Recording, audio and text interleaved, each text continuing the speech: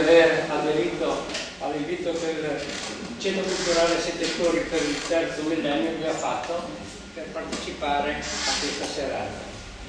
Una serata che riguarda la presentazione di un libro particolare negli occhi e nel cuore in cui vengono raccontate la vicenda della famiglia Gentili e tre friulani che sono stati testimoni della Shoah. Sono qui presenti i discendenti di quella famiglia, la signora Umbertina Gentili con la figlia Silvia e con la nipote Francesca che salutiamo cordialmente.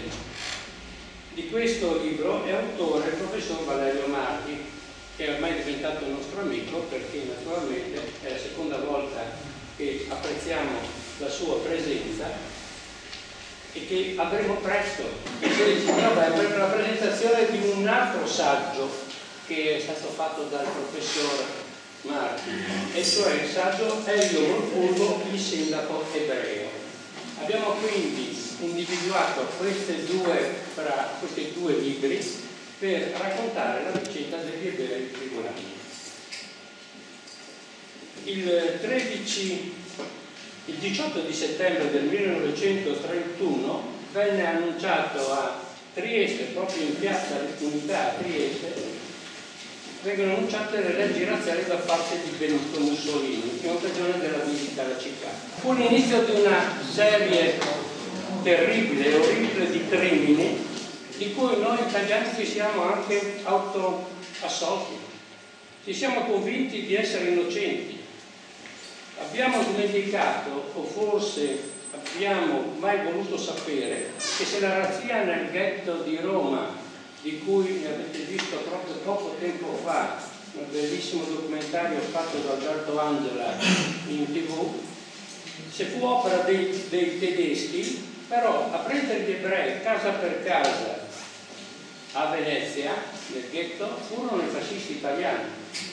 Purtroppo la memoria è spesso dolorosa, ma come recita il titolo del libro scritto da Liliana Segre, parafrasando il beffardo motto di Auschwitz, la memoria rende liberi, dobbiamo anche ricordarci che purtroppo l'oblio colpisce continuamente. E dobbiamo sempre anche ricordarci un'altra cosa, come diceva Indro Montanelli, che un popolo che ignora il proprio passato non saprà mai nulla del proprio presente. Io ritengo quindi di aver sufficientemente introdotto questo quadro. Ringrazio il professor Valerio Marchi che è docente presso l'Istituto Liceo Scientifico Marinelli, ma è uno storico, è un pubblicista, molti suoi articoli li avrete senz'altro apprezzati sul Messaggero Veneto cui scrive continuamente. Ringrazio della presenza la dottoressa Alessandra Kerseva della casa editrice KV, che è editrice di questo libro, ma anche di altri libri del professor Valerio Marchi, che sono poi a disposizione, se qualcuno vuole acquistare, sono nel banchetto d'entrata. E ringrazio anche la signora Alessandra Pergolese e la signorina Michela Marchi che poi ci leggeranno alcuni brani contenuti nel libro.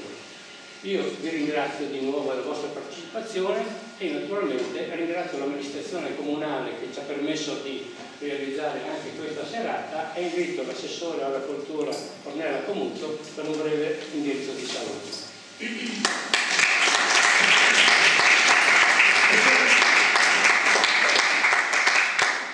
Buonasera a tutti voi, benvenuti, un benvenuto al professor Marchi, alla professoressa Kersevan, a tutti i nostri ospiti e un grazie eh, di cuore eh, al Circolo Settettori per aver organizzato questa serata. Come eh, ha detto giustamente eh, il Presidente Urbano, è fondamentale ricordare. A proposito di Liliana Segre, a proposito dell'indifferenza, e voglio portarvi una testimonianza. Recentemente siamo andati con tutte le terze della nostra scuola media, vi riferito, siamo andati a Milano e siamo andati a visitare il binario 21, che è il, questo museo della Shoah, eh, che è stato voluto proprio da Liliana Segre, che è diventata, come sapete, senatore a vita, è stata nominata senatore a vita, e lei ha voluto questo museo, eh, praticamente si trova sotto la stazione centrale ed è il, il binario da dove partivano di nascosto, diciamo, eh, gli ebrei che venivano eh, deportati ad Auschwitz, ad Dachau, eccetera. Ed entrando in questo museo c'è un grande muro e con scritto in grande indifferenza.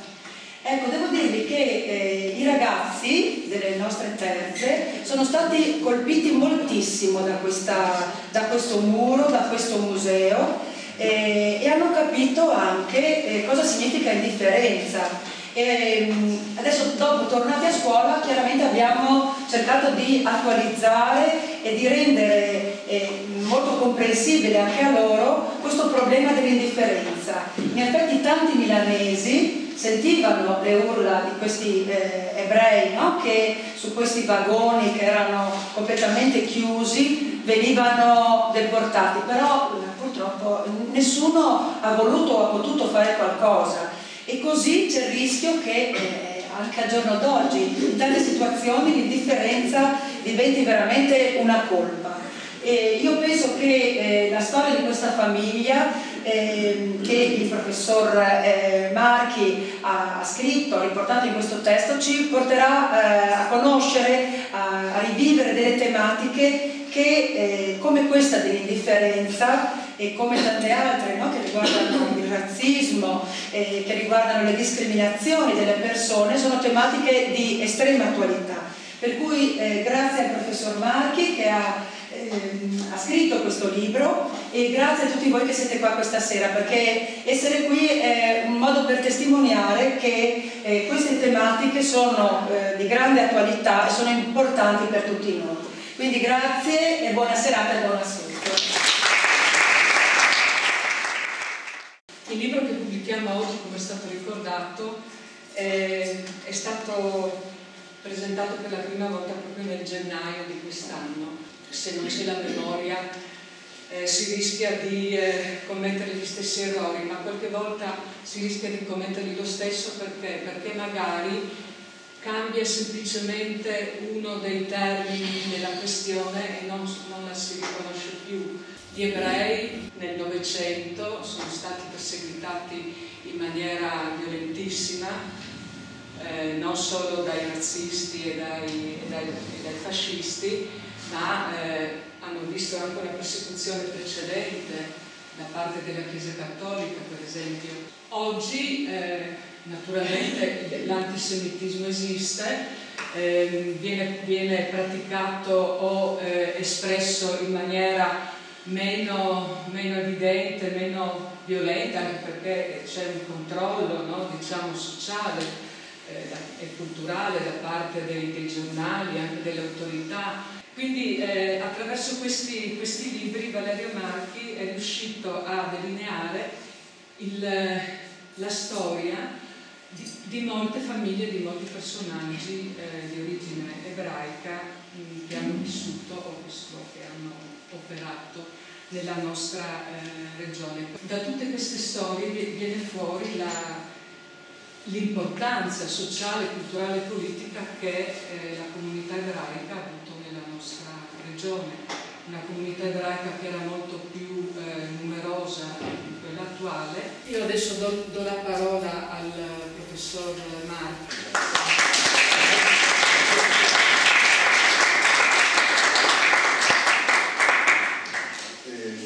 questo adesso non per fare le solite eh, scene che così che si fanno gli incontri, ma ringrazio veramente di cuore la KV perché avuto il coraggio anche di pubblicare dei libri come fa d'altronde per altri argomenti anche non sempre comodi, non sempre politica di corretto, come so dirsi.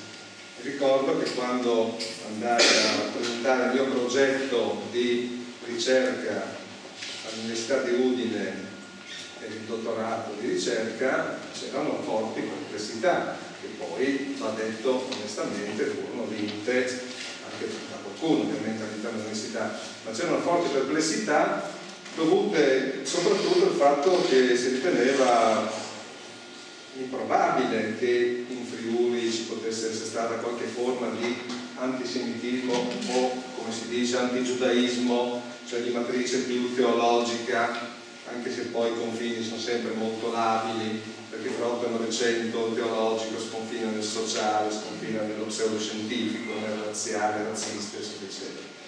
E si diceva ma cosa vuoi Friuli, non ci saranno chissà che casi, poi sono venuti poi diversi libri nei quali abbiamo dimostrato non che qua siamo più cattivi, più buoni che da altre parti, ma che avveniva più o meno qua quello che avveniva altrove. Poi qua essendo zona di confine e confini c'erano anche delle interazioni abbastanza importanti, prima Alessandra eh, citava Gorizia, eh, in Gorizia c'era una comunità ebraica fiorente, oggi sono veramente ridotti a, a, poche, a pochi numeri, a numeri bassi, ma c'è una bellissima sinagoga, peraltro attiva, perché quei pochi che ci sono si dedicano molto a studi, attività, concerti, eccetera, lì la comunità è stata letteralmente sterminata, disintegrata dalle leggi razziali che hanno fatto scappare molta gente e poi dalle persecuzioni che hanno fatto fuori quasi tutti quelli che non erano riusciti a scappare.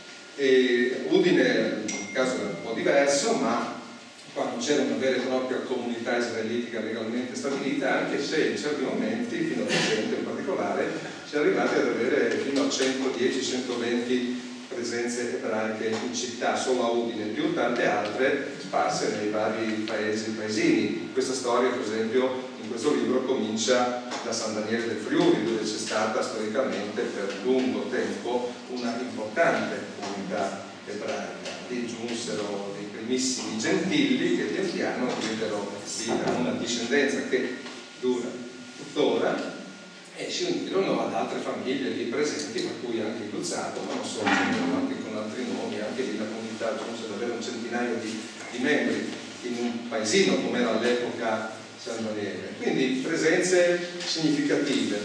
Ovviamente le persecuzioni ci sono state anche qua, eh, numericamente inferiori rispetto ad altri posti, si ricordava Trieste, Trieste è stata una vera e propria ecatombe, ma ci sono state e c'è stata una preparazione, abbiamo citato l'antisemitismo cattolico, che non era certo l'unico, eh, sia chiaro, me ne sono occupato perché tenevo giusto sottolineare un po' tutti gli aspetti, in questo libro si sottolineano molti aspetti di segno diverso, cioè esponenti cattolici che con grande coraggio e con grande eh, anche sprezzo del pericolo, alcuni sono stati dichiarati giusti dalle nazioni, hanno rischiato la loro vita per salvare gli ebrei, quindi qua non è questione di sono più cattolici piuttosto che in altri territori d'Europa con i protestanti o con altri.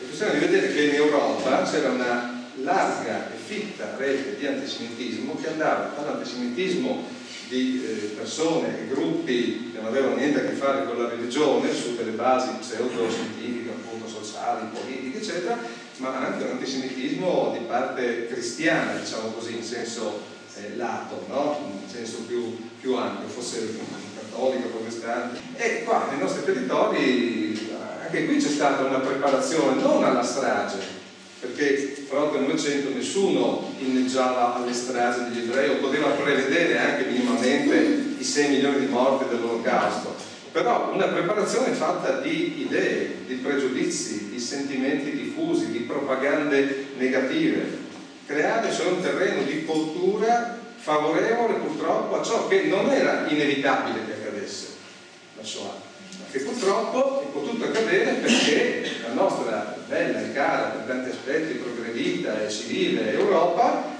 aveva dentro di sé questi germi, questi presupposti, c'è poco da fare. L'Europa ha una storia di intolleranza e di razzismo fortissima. Quello che noi abbiamo scoperto adesso negli ultimi decenni, la libertà, la tolleranza, tutte queste ancora oggi peraltro messe in discussione da, da come stavamo ricordando, da, da, non poche cose, ma sicuramente in un ambiente molto diverso dal passato, sono scoperte recenti. Io questo l'ho dovuto scoprire anche per me, che sono nato nel 1960, quindi ho conosciuto un certo mondo, cerco di comunicarlo agli studenti che nascono in un mondo ancora completamente diverso, e geologico il mio dal punto di vista della velocità delle, delle idee, ma chi è vissuto solo qualche decennio prima sa di che cosa sto parlando o i racconti dei suoi genitori, dei suoi, dei suoi nonni. Veniamo a questo libro che si inserisce in una catena, meglio a questa storia, perché adesso insomma, stiamo presentando un libro, ma più che altro stiamo qui a presentare una storia delle vicende, di persone, di famiglie. E la famiglia Gentili, che è un caso fra i vari no? di famiglie, di persone che possiamo studiare, che abbiamo studiato. E io qua eh, rinuncio a priori all'idea di entrare nel dedalo delle parentele, come in tutte le famiglie. Man mano che uno legge però sicuramente entra nell'argomento, entra nella famiglia in qualche modo, in queste discendenze e trova tantissimi nomi, perché ovviamente noi parliamo dei gentili, questa sera abbiamo fra noi Umbertina e, e ce la dobbiamo tenere veramente cara, non solo come persona in sé, ma come testimonianza storica abbiamo ricordato l'importanza di avere una memoria storica, quella bella frase di Montanelli che poi in qualche caso Montanelli si è scordato ma nessuno è perfetto, va bene, però la frase è giustissima. E una memoria storica di rete, della quale io ho usufruito ovviamente, adesso usufruito un brutto verbo, forse non mi capite bene, instaurando un rapporto anche di amicizia, di, di, affetto ovviamente con lei, con la sua famiglia e, poter sentire raccontare dalla viva voce dei protagonisti ciò che è successo all'epoca e avere poi ovviamente in mano molti documenti dell'epoca, per questo è un privilegio che non si avrà ancora per molto tempo, eh. si deve cogliere, poi vedremo proprio un membro della famiglia Gentili che in eh, avanzata età dopo aver così essere stato un po' restio a parlare, a raccontare, ha deciso che era importantissimo raccontare, si avvicinava ai 90 anni, ha detto è ora che raccontiamo. E noi dobbiamo ringraziarli di avere la forza di raccontare, la forza di narrare, la voglia di trasmettere qualche cosa. Vedremo come Umbertina c'è riuscita con eh, la sua discendenza, i suoi nipoti, le sue nipoti in una lettura finale. Eh, nel libro se avrete la pazienza e la voglia di leggerlo, troverete poi tanti nomi perché sono tutti nomi collegati ai gentili, è inutile spiegare che poi quando una gentili si sposava con qualcuno prendeva il nome di quel qualcuno e quindi la famiglia si ramificava e prendeva anche altri nomi, ma sono tutti collegati come parentele gentili. Per cui in questo libro voi troverete tantissime storie intrecciate. Come vedete non è un libro di, è di, di enormi dimensioni, eppure ci sono dentro, io me lo stavo riguardando prima di venire qua, perché ogni tanto bisogna ripassarsi anche per i propri libri, se no ci si dimentica, non stavo ricordando di sfogliare e dicevo, caspita, quante storie ci sono qua dentro, veramente. Se ogni tanto si prova a leggere con gli occhi di un estraneo, magari dopo qualche mese che non si guarda, proprio lavoro non si riesce a farlo, e ci si rende conto meglio di alcune cose, quanti intrecci, quante vicende, quante persone, di tutte le età, di tutti i luoghi, perché poi le ramificazioni vanno in tutto il mondo. Qui partirete da San Daniele del Friuli, ma arriverete in Australia, per dire, negli Stati Uniti, in tante parti in Israele ovviamente, in molte parti del mondo. E troverete nomi come Granati, Borghello, tra l'altro questa sera abbiamo Giampaolo Borghello, professore eh, del noto credo a tutti, che anche lui parte della famiglia Gentile, anche lui fa parte di questo grande quadro. E, eh, la sua famiglia ha vissuto queste cose, suo papà le ha vissute in prima persona, Rino Borghello.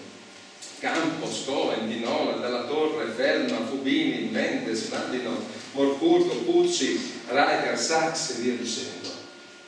Tutti intrecci con la famiglia Gentile, quindi tutte storie raccontate, alcune più brevemente, alcune un po' più a lungo, alcune molto ramificate, alcune meno, che si intrecciano però in qualche modo tutte. Storie a buon fine, a lieto fine, Umbertina oggi qui fra noi perché fa parte della categoria a lieto fine per lei personalmente, ma non a lieto fine per tanti dei suoi cari che purtroppo hanno, fatto una, eh, hanno avuto una vicenda molto più drammatica e diversi sono finiti nei campi di sterminio e lì sono rimasti.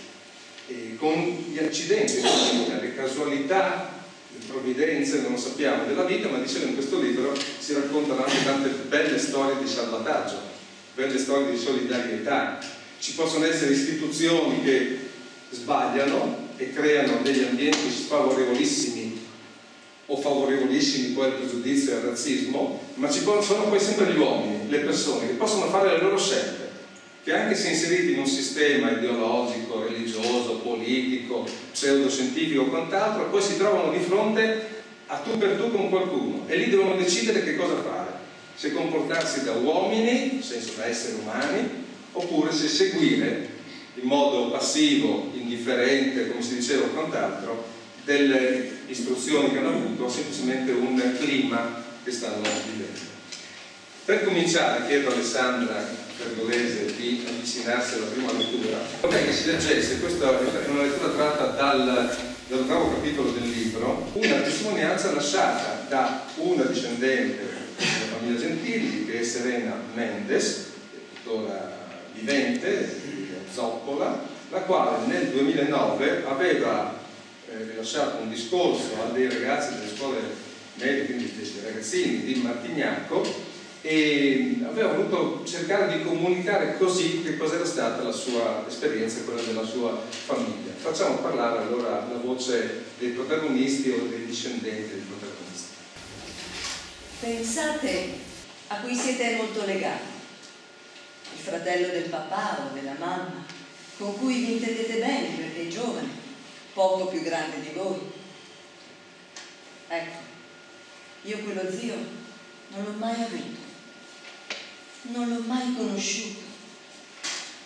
A soli vent'anni è stato strappato dalla sua casa di Roma, all'alba del 16 ottobre del 1943 e non è più tornato. Non si è mai saputo dove, quando e perché è morto. Anzi, solo il perché si è saputo. Perché era ebreo cioè, chi è un ebreo? È una persona come un'altra, solo che professa una religione diversa. Uno è cattolico, uno è protestante, uno è musulmano, uno è ebreo. Dipende da dove si è nati, dalla storia della propria famiglia.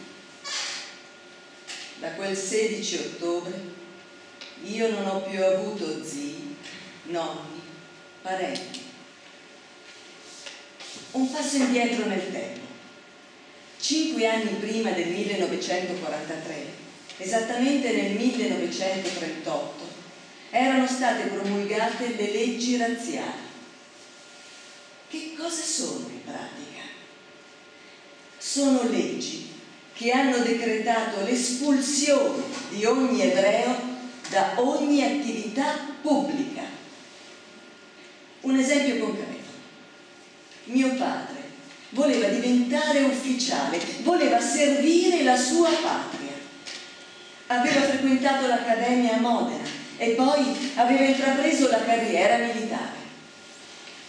Ma nel 1938, proprio a causa delle leggi razziali, fu cacciato dall'esercito e dovette rinunciare per sempre al suo sogno di ufficiale.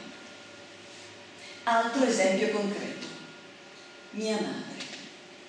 Mia madre aveva frequentato l'istituto Zanon a E si era diplomata in ragioneria con ottimi voti. Era stata subito assunta a lavorare negli uffici della previdenza sociale. Appena iniziata, si concluse bruscamente nel 1938, sempre a causa delle leggi razziali. Questo succedeva nel mondo degli adulti. E i bambini, quelli non hanno più potuto frequentare la scuola pubblica.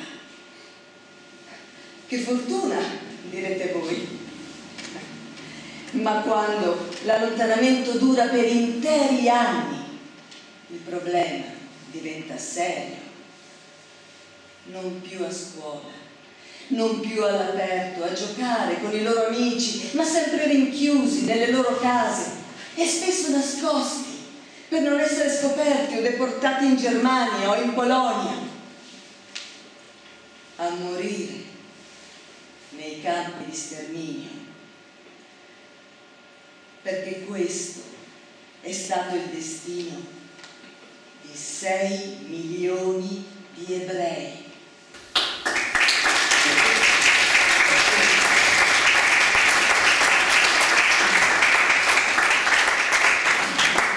abbiamo detto di fare un po' di dialogo, no? Ecco, questa, questa lettura... Veramente, sì, era figlia di Bruna Gentili, che era sorella di Umbertino. Tanto per chiarire, sì. Eh, ci, eh, ci, dà l'idea di cosa abbiano rappresentato le leggi razziali in Italia, perché è una idea abbastanza diffusa, forse quest'anno a causa dell'ottantesimo anniversario se ne è parlato di più, c'è stata la trasmissione che si è ricordata di Alberto Angela, poi articoli sui, sui e poi parlando proprio di questo, del 16 ottobre sì.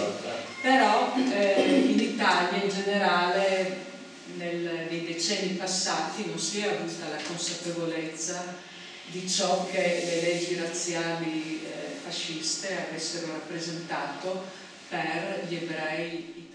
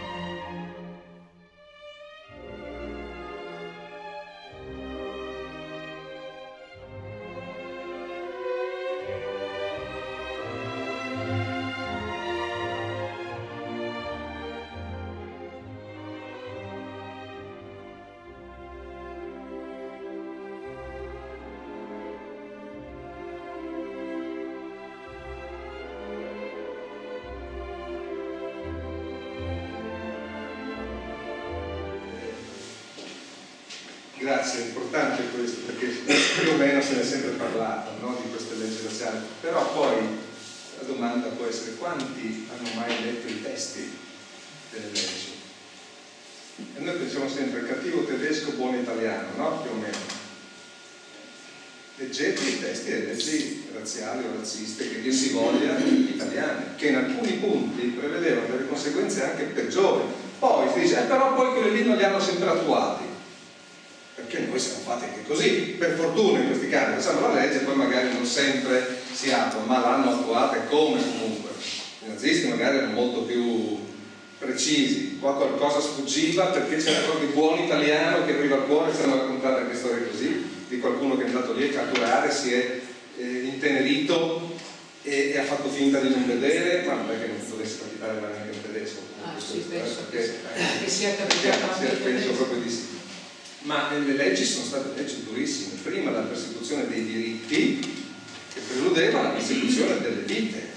E come si ricordava prima fatte anche dagli italiani, queste persecuzioni, le delazioni, le catture, il sindaco Elio Morpurgo fu scovato all'ospedale dove si era rifugiato per curarsi, per proteggersi eh, a causa di un delatore che non si è mai scoperto chi sia stato. Qua, nostro italiano, di queste parti questi sono casi a Trieste, ce ne sono stati tantissimi.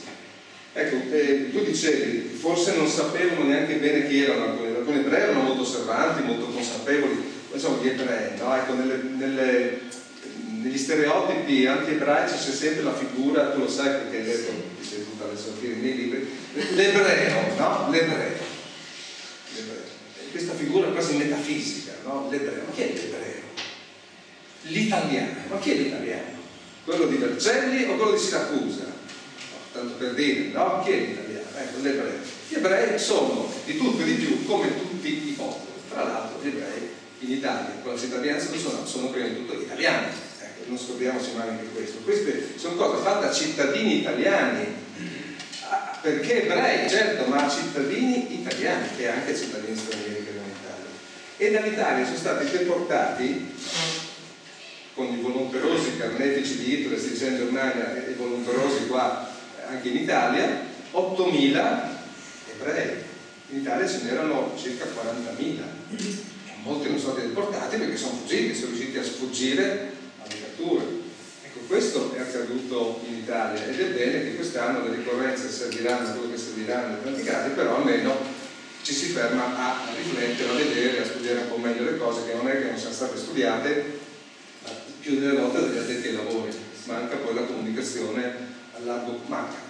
Non è facile la comunicazione a largo pubblico che è giusto cercare di fare come tanti studiosi stanno facendo. Ecco, a proposito di quello che dicevi, no? c'erano anche gli ebrei che non sapevano bene di essere, di essere ebrei, cosa significasse, no? la testimonianza di Giorgio Granati, che dopo riprenderemo, che è un discendente sempre dei Gentili, che dice con le leggi razziali smisi di sentirmi italiano, però non sapevo ancora che cosa io fossi. Noi facciamo parte della famiglia molto laica, diciamo, molto poco osservante, no? Alcuni osservavano, altri meno, era cresciuto con una mentalità piuttosto laica, diciamo, no? E dice, non sapevo neanche bene. E poi dice alla mamma, mamma, tu ci hai insegnato a amare la patria, ma la patria non ci vuole più il disorientamento, lui era un ragazzino, pensate questo ragazzino, c'è una bella foto nel mio libro, ecco qua, pagina 93, che mi è stata data da Giorgio Argaranati che all'epoca viveva a Firenze, non vi spiego perché, ma vengono tutti da San Daniele, viveva a Firenze e lui era in una classe, aveva 12 anni, 11 anni all'epoca, 11 anni nella sua classe, sono andati per le classi della scuola a prendere i ragazzini a scegliere i ragazzini, non dico selezionare che in questo caso sarebbe brutto, a scegliere i ragazzini che potevano eh, così incarnare, rappresentare la pura razza italiana perché belli, ai tanti, eh, alti, no? eh, con volto con, così, ecco, proprio adatto alla Mussolini, per lui era in effetti, perché adesso ha 88, 90 anni, 90 anni, è alto ancora nel 90, capite? da 11 anni era già un bel ragazzone e l'hanno preso e l'hanno messo eh, su in, in, piazza su un palco no? vestito da eh, giovane balilla no? lì, tipico esponente non sapevano che era ebreo e guardando il fisico avevano capito che era tipico italiano ovviamente eh, ho dovuto cominciare a fuggire da lì a poco no? e questo per dire anche la, la, stupidaggine degli uomini in questo come in tanti altri casi purtroppo e a proposito di eh, ebrei che cercavano la loro identità e la loro dimensione anche lavorativa, umana, professionale, adesso leggeremo fra poco una mm, parte del, del, libro che parla di Joseph Gentilli. Qua vedete la famiglia Gentilli a inizio Novecento. Da questa famiglia sono discesi tanti altri Gentilli, uno fu Giuseppe che poi andò a vivere in Australia, scappando proprio dal fascismo, divenne lì un importantissimo professore di fama mondiale, geografo, climatologo e quant'altro, che è una gloria del Friuli, come ogni tanto capita, a volte più conosciuto fuori dal Friuli che in Friuli, ma Nemo Profeta in Patria diceva quello, qua è conosciuto ma non, non proprio da tutti, all'estero è molto più noto, il quale ha avuto tutto un suo percorso di fuga, l'ha capito fin da prima, molti ebrei capivano prima dove conduceva il fascismo, e altri no, altri rimangono sorpresi, spiazzati, c'erano tutte le reazioni. Lui lo capisce per tempo, poi era uno che si opponeva, uno che diceva di no, uno che ne andava le cose e a un certo punto se ne deve andare. Leggiamo un brano dal libro che ci racconta proprio eh, dell'esilio, diciamo dell'autesilio di questo importante personaggio, importante esponente della famiglia e che poi dovrà una carriera luminosa che ancora oggi da chi è Carrano viene ricordata. Joseph conobbe bene quello che definì il volto brutale del fascismo a Gorizia, dove assistette a ignobili atti di violenza di certi squadristi che, assecondati dalla polizia, sfasciarono la sede di un'organizzazione parrocchiale editrice di un proprio giornale in lingua slovena. Condannai il regime per sempre, scriverà Joseph rievocando quell'episodio e definendo gli sviluppi razzisti e bellici del fascismo la frana e l'abisso. La suddetta sede parrocchiale era peraltro ubicata nel condominio in cui viveva sua zia, Angelina Gentilli, che gestiva una ben avviata merceria. La povera Angelina morì nel 1940 di crepacuore quando le fu imposto un direttore ariano. Alla fine del 1943, poi suo marito, Giovanni Felberbaum, di origini polacche, fu deportato ad Auschwitz, da dove non fece mai ritorno. I due non avevano figli. Nel 1938 Joseph prese la decisione di emigrare a causa delle leggi antiebraiche, del clima generale che si stava creando e degli attacchi ideologici portati dai fascisti. Il suo stato d'animo era questo. Mi sentivo intrappolato in un'Europa che stava per esplodere da un momento all'altro e dalla quale non riuscivo a uscire, perché nato nel 1912 ero ancora soggetto alla leva. Fece richiesta di asilo a Nuova Zelanda, Canada e Australia e fu solo quest'ultima a concederglielo, a patto che portasse con sé 300 sterline, circa 600 dollari. Il governo italiano però non permetteva ai propri cittadini di portare all'estero più di 200 sterline e allora Joseph dovette ricorrere all'aiuto di un frate con cui aveva fatto amicizia durante il viaggio, chiedendogli di nascondere la somma mancante sotto la veste talare. Così, imbarcatosi il 20 agosto 1939 da Napoli, approdò in Australia, una dozzina di giorni dopo lo scoppio della guerra. Quindi si stabilì nella vicina Perth, dove, fra le altre cose, collaborò alla fondazione del Comitato Statale dell'organizzazione antifascista Italia Libera, di cui divenne anche vicepresidente. Era d'altronde pienamente convinto, scriverà così nelle sue memorie, che la vera guerra da combattere era quella contro i totalitarismi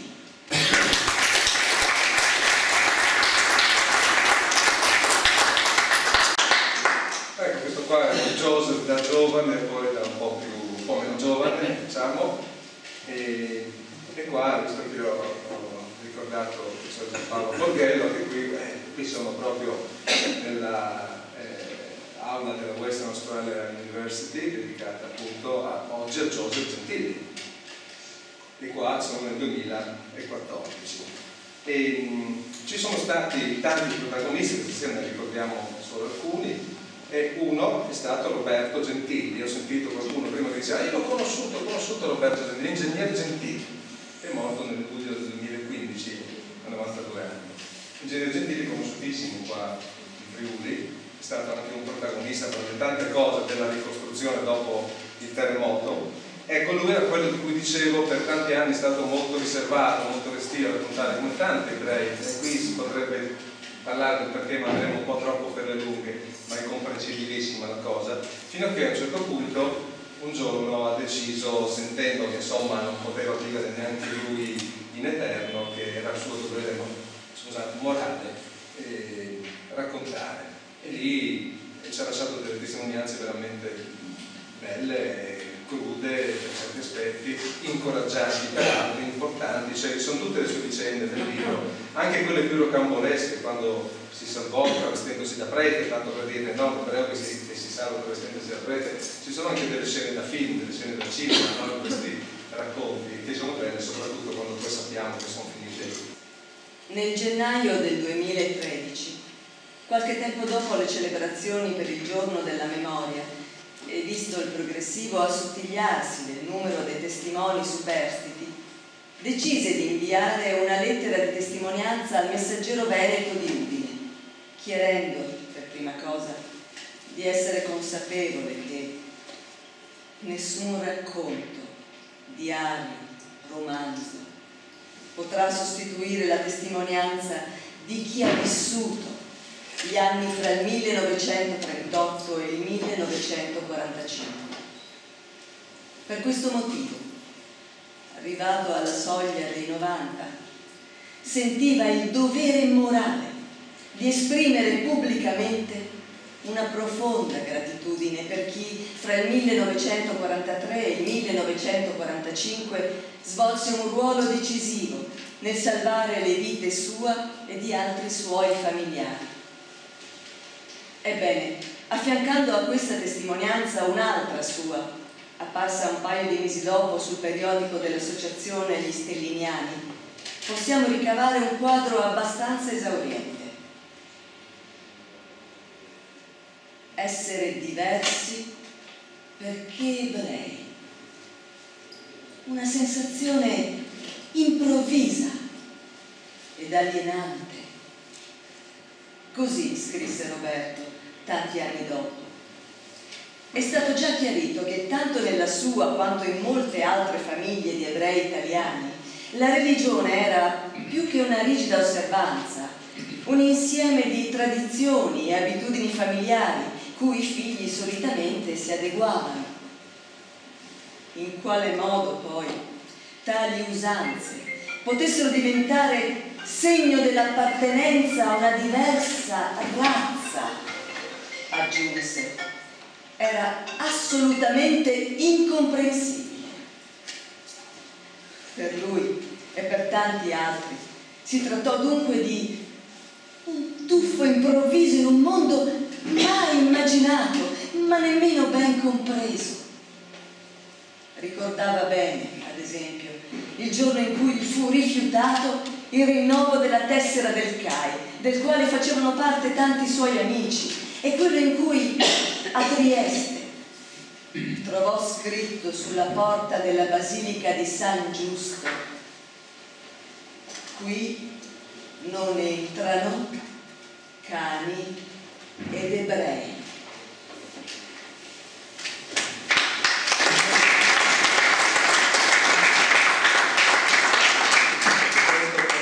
La cronaca è proprio il documento che riguarda Roberto Gentilli stato trovato negli archivi del liceo Stellini, come vedete viene segnato come razza ebraica, poi potevano fare esami da privatisti, no? non potevano più frequentare la scuola. Questi sono documenti che si trovano nelle scuole ancora oggi, eh? sono documenti importanti. Eh, c'è il ricordo che l'uomo sicuramente, io una delle cose che ho riscontrato abbastanza spesso è quella di, di come tu mi prima vedi, no? che devi superare questa difficoltà, la paura di non essere creduti, di raccontare qualcosa che si stenta a credere e quindi di farsi anche una brutta figura, addirittura di essere ulteriormente perseguitati. La vergogna a volte può sembrare assurdo, ma c'è anche quello, no? soprattutto chi ha vissuto le esperienze più umilianti. Eh, dice non ti devi vergognare, devono vergognarsi quelli che, che le hanno causate, però le umiliazioni sono state talmente forti che spesso vergogna a raccontarle, poi c'è questa paura di non essere creduti, c'è il dolore sicuramente, c'è la volontà di proteggere, e qua nel libro emerge un caso, i propri, i propri figli per queste memorie, per non, non, far sapere ai propri figli che, che cosa è stato quel mondo, da dove si è venuti, come può essere brutta la, la vita, sperando che questo non si ripeta più. Poi però, come nel caso di Roberto, è giunto allora che, che si dica queste cose. No? Ecco, sono, un tentativo di motivazione sicuramente, poi chiedendo agli interessati eh, ne vengono fuori altri. No? Ecco, Umbertina è sempre stata docilissima, eh, desiderosa, almeno quando conosco io, di, di, raccontare, non per la smania di raccontare ovviamente, o di, o di mettersi in mostra che è la persona più riservata forse che io conosca, ma per, per gli altri, ovviamente per i propri familiari, giusto che sappiano una certa storia, eh, anche per gli storici, se non noi capiamo, no? cioè, anche noi dei ricordi degli altri, no? ma parte delle battute per gli altri, per come testimonianza a tutti, e come dicevi tu, questo avviene in tutti i casi, diciamo analoghi, tutti diversi, insomma, dove ci sono delle forze di persecuzione. E questa qui è una frase che ha lasciato Roberto Gentili, a Gerusalemme esiste un registro dei giusti tra le nazioni, lo sapete, no? Una, gli alberi dei giusti, eccetera, eccetera, no? E quelli che hanno appunto rischiato la loro vita eh, per eh, salvare quella anche di un solo ebreo, pur non essendo loro ebrei, no? Ma dovrebbe essere troppo grande per contenere tutti i nomi di chi, come Don Gardumi i suoi confratelli, troverete che questo Don Gardumi è uno dei vari eh, esponenti del mondo cattolico, vedete qua sono tre che vengono citati, Gardumi, Friedman e Lino De Marchi, che era qua a Udine, e hanno compiuto un semplice, anche se ben pericoloso, atto di umanità evangelica, ospitare i perseguitati. E questo è di un'attualità eh, sconcertante, direi, no? perché noi adesso stiamo vedendo casi di singoli, di gruppi di persone, in un contesto di un certo tipo, in una non vogliamo appiattire la storia no? per quello che è stata la Shoah o quelle che possono essere cose di oggi, ogni fenomeno è assolutamente a sé, ma credo che anche oggi il dovere di ospitare i perseguitati, di ospitare chi fugge da situazioni di invivibilità, qualunque si siano, sia da tenere presente soprattutto a partire da chi può decidere fino a tutti noi cittadini e credo che questo sia di un'attualità sconcertante.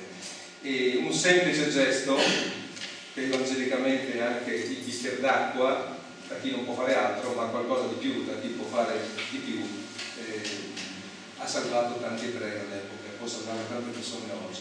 Il nostro debito di riconoscenza è enorme, dice un'altra discendente, Miriam Puzzi Benzer, che è un'importante professoressa in Israele adesso, ha fatto una bellissima carriera, ci ha salvati tutti noi, dice, no, della persona che l'aveva salvata. Ecco, queste sono veramente grandi testimonianze come anche ancora quella di Roberto Gentili, quella data eh, riguardo ad Angelina Peronato, che era un'attivista diciamo, di azione cattolica e che ha contribuito in modo determinante alla salvezza di Umbertina, di Roberto e di altri familiari, di altri gentili. Perché si sono salvati? Perché alcuni di loro purtroppo sono finiti ad Auschwitz e altri sono salvati? Perché qualcuno li ha salvati. Eh, è, molto, è esattamente semplice, perché qualcuno li ha salvati e rimane finché salvate allora rimangono in vita un costante, profondo, vorrei vitale sentimento di gratitudine. Ecco, Roberto Gentile è stato spinto non solo dal desiderio, dal senso di dovere morale di raccontare, ma anche dal senso di dovere morale di ringraziare, che è lo stesso sentimento che ha mosso Umbertina, che ha sempre sentito questa volontà di ringraziare, appunto che ha cercato di far rientrare anche Angelina Peronato nei giusti fra le nazioni, ma secondo loro non c'erano abbastanza testimonianze, sono molto rigorosi, in realtà a mio parere non punterò nulla, perché ce n'erano più che a sufficienza, ma eh, vabbè, loro hanno i loro criteri, le loro cose, ma giustamente diceva Roberto Gentili, ce ne sono tanti altri che non rientrano nell'elenco, ma non per quello non hanno fatto le stesse cose, forse anche di più, magari non si conoscono o non c'è la prova provata, definitiva come vogliono loro. Eravamo ebrei udinesi, dice Umbertina, per lei degli sconosciuti, soli, impauriti, braccati dai nazifascisti. Angelina ci accolse, ci prese per mano, ci accompagnò fino al giorno della liberazione e tutti ci salvarono. Documenti falsi, ospitalità, spostamenti, rischiando la vita per tutto questo. Ecco, ci sono anche queste storie in questo libro. E poi ci sono le storie delle fughe. E qui adesso chiedo ad Alessandra di leggere questo brano di quel ragazzino che era stato messo sul... Eh, gli aggranati sul, come si chiama? Lo stallo a mostra del tipico italiano di razza ariana e, e che poi è stato perseguitato, ha dovuto fuggire, che fine ha fatto quel ragazzino? È dovuto fuggire in varie parti d'Italia, eh, in Toscana, eccetera, eccetera, poi in Svizzera, adesso leggeremo un episodio della fuga in Svizzera, e poi è andato a vivere in Israele, in un kibbutz, e, e lì ha trascorso tutta la sua vita, dovevano sterminare lui e la sua famiglia, oggi quest'uomo ha 31 nipoti e 15 bisnipoti alla facciaccia sua, diciamo. Eh, possiamo Strisciammo uno dopo l'altro nel buco fangoso. Era la notte fra il 16 e il 17 aprile del 1944. Mentre ero lì, sotto la rete, fresco com'ero di studi liceali, mi venne in mente una citazione del Manzoni e dissi in cuor mio come Renzo, sta lì, maledetto paese, all'indirizzo dell'Italia. Cominciamo ad allontanarci dal confine con il fango attaccato alle scarpe. Il mio compagno si era caricato la nonna sulle spalle. Ben presto scoprimmo che c'erano dappertutto grandi fosse, preparate forse dagli svizzeri contro un'eventuale invasione di carri armati, che la pioggia veramente torrenziale aveva riempito di acqua fangosa. Io ero euforico. Dissi al gruppetto di aspettare lì, sarei andato avanti a cercare la strada. Evitai le fosse, passai sotto i fili di ferro e, come nelle favole, vidi lontano un lumicino. Avvicinandomi, il buio era profondo, vidi una casetta. Ci girai intorno e mi trovai di colpo di fronte a una sentinella col fucile e il caratteristico elmetto dei tedeschi che mi chiese in un tedesco gutturale se ero un profugo. Per un attimo mi guizzò il pensiero di quei fili di ferro sotto cui ero passato Avevo ripassato il confine? Ma subito dopo vidi brillare su un lato dell'elmetto la croce bianca in campo rosso della Svizzera e capii che quel soldato era della Svizzera tedesca. Allora tirai fuori tutto il mio povero tedesco e gli dissi che sì, sì, era un profugo e che c'erano anche dei miei amici che non erano lontani. Lui sfoderò una grossa torcia accesa e rifacemmo la strada che avevo fatto io. Chiamavo i miei compagni, ma loro non rispondevano e a un tratto lo capì mi dovevano aver visto tornare parlando tedesco con un soldato che sembrava proprio tedesco e si erano nascosti tutti in una di quelle fosse con l'acqua all'ombelico. A quel punto gridai che eravamo in Svizzera, che quel soldato era svizzero. E non ti dico che aspetto avevano quei poverini che uscivano uno dopo l'altro dalla fossa fangosa.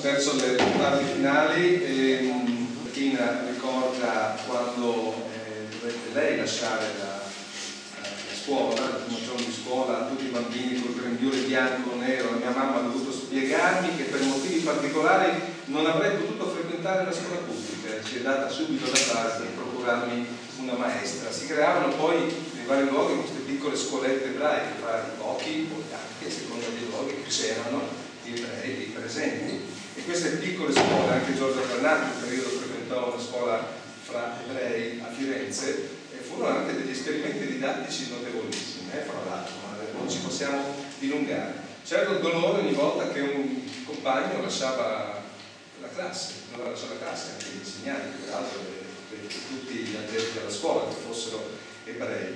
E qui c'era anche un ricordo che adesso vorrei leggere, lasciato da Luciano Spiva, che era compagno di classe di Erminio Volterra, che era un ebreo eh, udinese, di una famiglia ebraica abbastanza di spicco qua a Udine, e ci ha lasciato questo ricordo di quando un suo amico qua a Udine, proprio, Erminio Volterra, ha dovuto lasciare la scuola. Un ricordo di un adulto, ma che ricorda molto bene i sentimenti che ha provato quando era bambino.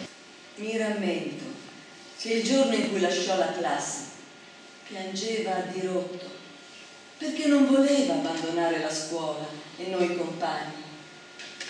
La sua figura in lacrime è un'immagine che mi stringe il cuore ancora oggi, come allora. Gli eravamo affezionati. Infatti quando sapemmo che sarebbe stato espulso, noi bambini e il nostro maestro rimanemmo profondamente scossi e dispiaciuti.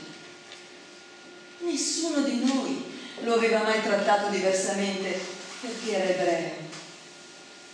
Ricordo che quando partì non ci fu un solo bimbo che non scoppiò a piangere. La Peronato, Angelina Peronato e la volontà di ringraziare le persone che hanno offerto la loro disponibilità con la quale si rischiava la vita. E io credo che questo brano di Umbertina racchiuda tutto, tutta la gratitudine, tutto quello che si possa dire.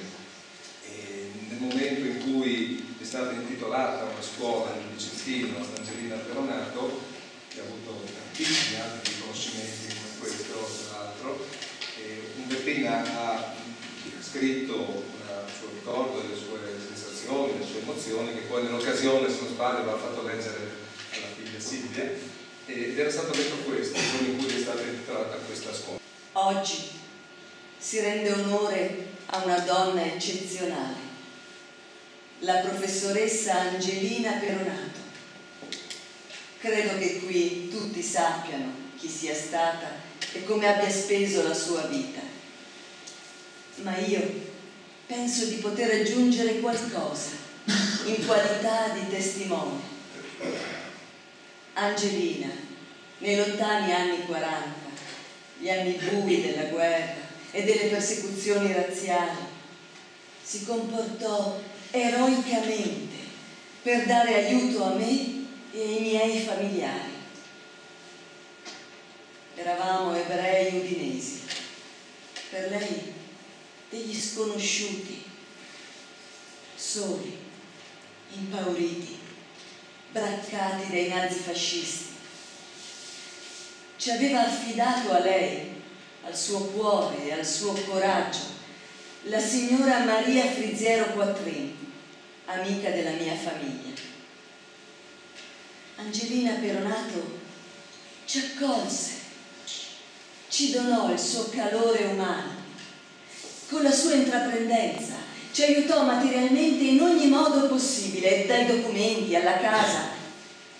Ci prese per mano, ci accompagnò fino al giorno della liberazione.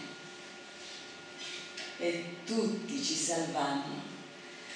I miei genitori, il mio cognato, mia sorella, la mia nipotina di 14 mesi ed io. Ma proprio io ebbi qualcosa in più. Ebbi la fortuna immensa di averla anche come impareggiabile insegnante. Io, che nel 1938 ero stata espulsa dalla scuola, potei frequentare, sotto falso nome, la terza media. Ci diede tanto a me diede tutto. Oggi posso solo dirle, con animo grato e commosso,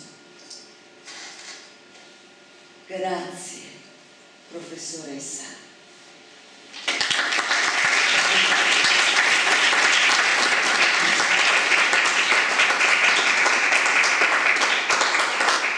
ricordi tristi di chi invece non ha avuto qualcuno che lo potesse salvare. Maria Gentili, discendente dei Gentili di San Daniele, quel Giuseppe che abbiamo visto all'inizio in quella foto di fine Ottocento, suo marito Vittorio Morpurgo che era di che era figlia Tina, vittima della sua Pensate che questo ritratto di Maria l'ha fatto sua sorella, eh, una delle sue sorelle Lina, a quale tra l'altro ho dedicato anche una monografia e questa ragazzina ritraeva così la sorella, bellissima, il ricordo che ci resta di lei. E, e, i nomi di chi non c'è più, si leggono i nomi quando qualcuno scompare perché il nome almeno rimanga, soprattutto quando viene inghiottito da questi abissi nella nostra storia. Ecco, questi sono alcuni dei nomi che troverete nel libro di coloro che invece non ce l'hanno fatta sono stati sommersi da questa catastrofe. Nomi dei quali però c'è un po' di storia, per qualcuno di più, per qualcuno di meno, c'è una memoria, c'è un ricordo e ci sono coloro che ce l'hanno fatta ancora ricordare e a farci ricordare. Ognuno ha il suo nome, ognuno ha la sua storia, ogni uomo ha un nome e va ricordato, non c'è mai massa degli uomini, ci sono gli individui, ogni uomo va ricordato. E pensate che pochi anni dopo la Shoah, qua in Italia c'era ancora gente che scriveva su riviste come Epoca cose orribili contro gli ebrei. Gente che si vantava di essere di professione antisemita, di inneggiare a Hitler, a Mussolini. E Nino Gentilli, personalità eh, stimatissima, avuta in Friuli, papà di Umbertina, prese un giorno carta e penna e si ribellò a questo scrivendo, protestando pubblicamente. Eravamo negli anni 50, stavamo andando verso la fine degli anni 50 e ancora, c'era qualcuno che insultava e desiderava di compiere fino in fondo il lavoro cominciato dai nazisti e dai fascisti.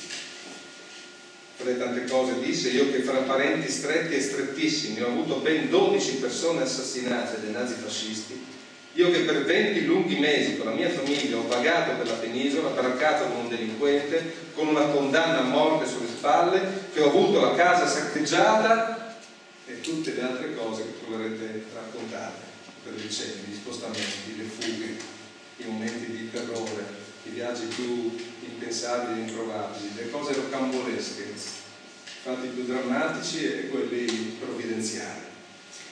E sono le cose che dobbiamo ricordare oggi, si dice in genere, oggi lo fanno molte pietre d'inciampo, sparse ormai eh, numerosissime in tutta, in tutta Europa, queste sono quelle dei Mendes a Roma, sempre parenti dei Gentili, arrestati, riportati, vedete la data di fatidico 16 ottobre 1943, non sono programmi televisivi, sono realtà.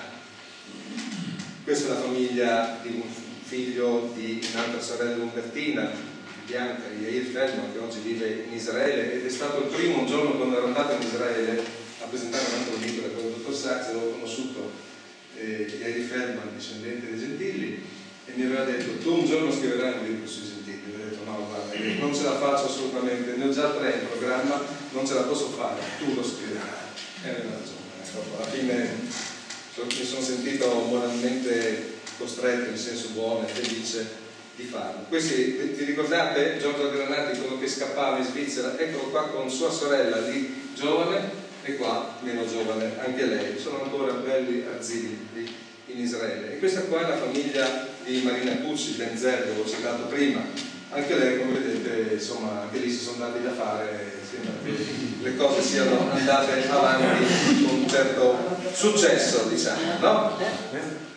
E ci sono i Fubini di Torino, anche loro, anche lì queste sono storie incredibili, gente espertissima nel far fuggire gli altri, nel creare documenti falsi. E quando ci si deve arrangiare, ci si deve arrangiare, ovviamente. E poi componenti della famiglia più ristretta qua dei Gentili di oggi, una bella foto recente, e terminiamo leggendo qualcosa che è stato scritto da una ragazza, da una ragazzina, un paio d'anni fa, Emma, nipote di Umbertino, che frequentava adesso l'università, no? frequentava lo Stellini, come mia figlia Michela, e un giorno, in occasione del giorno della memoria, ha voluto indirizzare una lettera pubblica, diciamo così, privata pubblica, a sua nonna. E allora ho detto cosa di meglio se non farlo leggere a una ragazzina più o meno della sua età che frequenta la stessa scuola ma che ha avuto una storia molto diversa affinché si compentri in questa storia e ringrazi comunque la vita, i suoi genitori, i suoi nonni e tutti quanti oggi gli danno la possibilità vivere una vita serena e tranquilla come speriamo che i nostri figli e i figli dei nostri figli possano continuare a fare perché le cose che sono state in altra forma potrebbero tornare, sta a loro anche fare in modo che non sia così. Allora chiedo a Michela di leggere questa bellissima, parte questa bellissima lettera che Emma scrisse a sua nonna ma che volle divulgare pubblicamente. La storia studiata a scuola sembra così distante, quasi irreale. Una favola che recitiamo a memoria davanti ai professori magari menzionando qualche dato, per apparire ai loro occhi più preparati, come gli ebrei sterminati furono più di 6 milioni. Con quanta superficialità, con quanto distacco emotivo pronunciamo queste parole. Noi non sappiamo cosa significhino, non siamo in grado di cogliere la smisurata sofferenza che si cela dietro ad essi. 6 milioni di vittime sono troppe per figurarci. È un numero al di sopra della portata della nostra immaginazione. Ma io non mi farò ingannare da un libro di storia freddo e distaccato, perché la vera storia non è scritta lì, letteralmente appiattita, spogliata, sepolta, schiacciata tra mille altri eventi e date. La vera storia è scritta, o meglio impressa indelebilmente, negli occhi e nel cuore di mia nonna. Io mi sento in dovere di dare un senso agli orrori che quegli occhi hanno visto e alle sofferenze che quel cuore ha provato. In che modo? Comincerò con il non dimenticare. Io mi immagino l'olocausto con una ferita profonda e inguaribile, una ferita che non si cicatrizzerà mai del tutto, una ferita che mia nonna recherà per sempre con sé nel suo cuore, che io conserverò nel mio e che tutta l'umanità dovrebbe portarsi appresso come triste eredità di un passato che ci fa tanto vergognare, segno indelebile di un pezzo di storia che brucia e che ci trascineremo dietro come un peso e come una colpa comune, che possiamo espiare solo ricordando e ricordando ancora. Possiamo sì cercare di seppellire sotto un mucchio di distrazioni questo terribile dolore, ma esso ritornerà incessante per ricordarci di cosa è stato capace l'uomo. È proprio quello che meritiamo e il giusto stimolo a non dimenticare mai. Cara nonna, non scorderò mai i tuoi occhi. Ti sarò eternamente grata per aver resistito e avermi donato in questo modo la vita. Tu mi lasci un'eredità scomoda, perché inevitabilmente si tramuta in doloroso senso di colpa. Sono troppo fortunata. Non mi merito l'agio e la spensieratezza in mezzo ai quali vivo. Poi mi ricordo che tu, con la tua sofferenza, me li hai garantiti. Mi hai donato la pace e l'orgoglio, la pace di un mondo più buono e l'orgoglio di avere una nonna come te.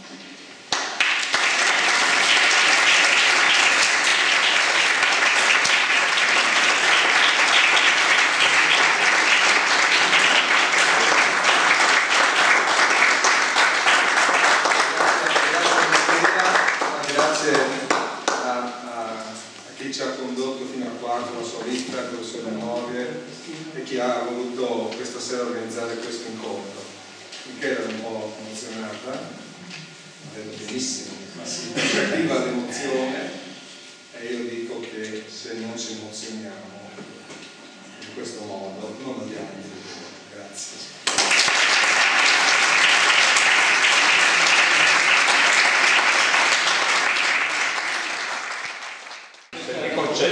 Dire due parole caso. da aggiungere a quelle che sono state dette per ricordare che c'è un eh, riconoscimento il Friuli deve a Joseph Gentili perché dalla lontana Australia lui non ha dimenticato il Friuli e ha mantenuto dei rapporti con il Friuli. L'anno scorso eh, sono stati celebrati 40 anni dell'istituzione dell'Università di, del Friuli 15.000 studenti, 50.000 laureati e il più intero hanno un debito di riconoscenza nei confronti del professor Gentili, Joseph, che è stato il primo a parlare pubblicamente della necessità per il Friuli di dotarsi di una università. Da professore emigrato ha scritto di questo ancora negli anni 50 e il suo testimone è stato raccolto da un altro professore a suo tempo emigrato che era il professor Petracco che insieme a tanti altri ha poi raccolto le famose firme che hanno costretto il governo subito dopo il terremoto del 76 a concedere al Friuli l'università. Penso che sia eh, giusto in questa sede ricordare questo tributo di riconoscenza che il Friuli deve a questa famiglia e a questo particolare personaggio. Che nemmeno il professor De Toni, che ha celebrato appunto il quarantennale dell'università, conosceva e si è sorpreso quando te ne ho parlato. La ringrazio ha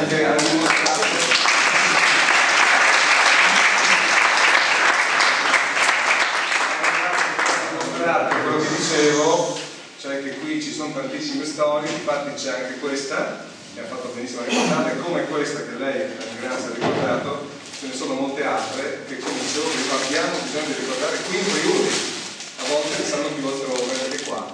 E quindi questa come altre le trovate in queste, in queste vicende e credo che abbiamo il dovere anche come cristiani in questo luogo no? in cui ricordiamo tante cose belle, buone, eccetera, si dice che siamo un popolo cristiano, eccetera, eccetera, di mantenere vivo il ricordo delle persone che hanno fatto bene, delle persone che hanno fatto del male, di tirare le somme un po' di tutto questo, e delle persone che si sono poi sempre tenute attaccate alla propria terra, hanno venuto bene, anche se non erano cattolici, cristiani, quello che era, ma erano, erano cittadini italiani che amavano la loro terra, come. Per ringraziare innanzitutto voi e ringraziare chi ha partecipato, io volevo innanzitutto ringraziare la signora. Grazie.